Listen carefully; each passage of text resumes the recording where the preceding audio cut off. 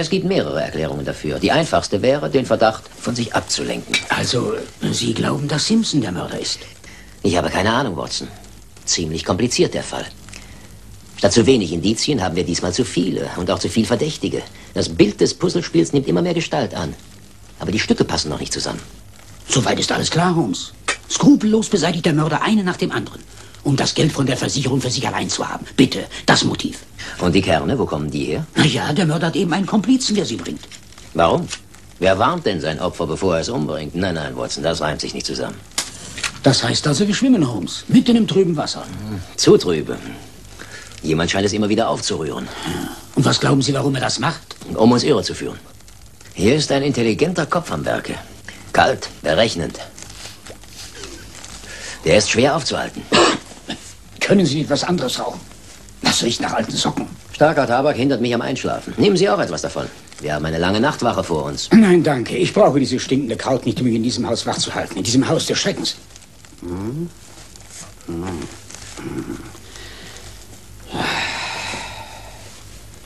Setzen Sie sich doch. Warum stehen Sie? Paffen können Sie auch im Sitzen.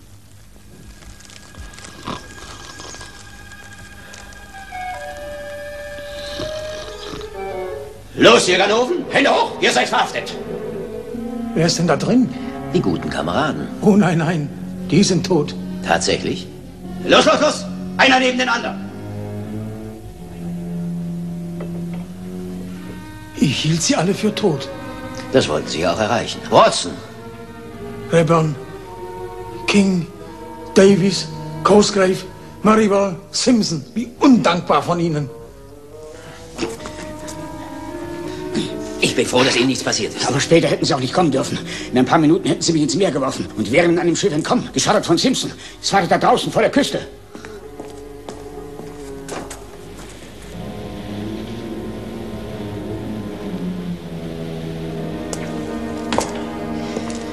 Ich gratuliere Ihnen, Lestrade. Sie haben gute Arbeit geleistet.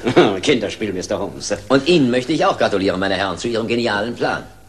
Ich gebe zu, hätten Sie Ihr Geheimnis nicht noch durch die Apfelsinenkerne unterstreichen wollen, hätten die Hintergründe der Ereignisse in Draycliff House meiner Aufmerksamkeit leicht entgehen können. Sie sind sehr beredt, Mr. Holmes. Und wenn Captain Simpson seinen Tabak nicht mitgenommen hätte, der in der Bibliothek lag, wären Sie eventuell doch noch entkommen. Nebenbei bemerkt Lestrade, ich nehme an, dass jeder dieser Gentlemen seinen Teil der Versicherungssumme bei sich trägt, in einer vollgestopften Brieftasche. Sie Vollidiot, Simpson. Ich habe Ihnen gesagt, man wird merken, dass der Behälter leer ist. Und wer hat gesagt, ich soll hinter dem Haus herumschleichen?